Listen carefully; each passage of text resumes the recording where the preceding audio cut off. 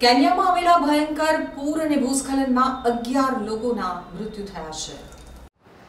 તાજેતરમાં જ કેન્યામાં આવેલા ભયંકર પૂર અને ભૂસ્ખલનમાં અગિયાર લોકોના મોત થયા છે જ્યારે બે હજારથી વધુ લોકો બેઘર થઈ ગયા છે આ સમય મુશ્કેલીમાં મુકાયેલા માનવ સમૂહને શ્રી સ્વામિનારાયણ ગાદીના આચાર્ય જ્ઞાન મહોદધી શ્રી જીતેન્દ્ર પ્રિયદાસજીના સ્વામી શ્રી મહારાજની અનુજ્ઞાથી નારોક સાઉથના રહેવાસીઓ અને આફત પીડિતો માટે શ્રી સ્વામિનારાયણ ગાદી સંસ્થાન શ્રી સ્વામિનારાયણ મંદિર નૈરોબીથી ટ્રક ભરી અને રાહત સામગ્રી મોકલાઈ હતી જેને નરોકના governor Patrick Ole Ntutu અને સાંસદ કિટ લઈ એન્ટુટુએ લીધી અને લીલી ઝંડી આપી રાહત સામગ્રીની ટ્રકને રવાના કરાઈ હતી.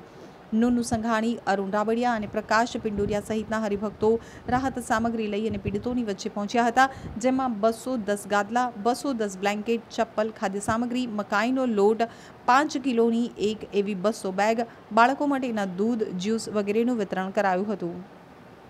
ઈસ્ટ આફ્રિકા, જેનો કેન્યા નૈરોબી કેપિટલ છે.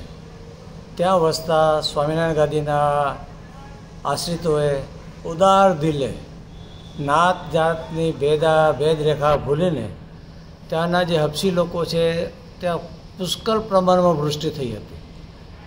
બહુ જ પ્રકારની વૃષ્ટિ થઈ હતી, ઘણા પ્રકારનું નુકસાન રાષ્ટ્રને થયું.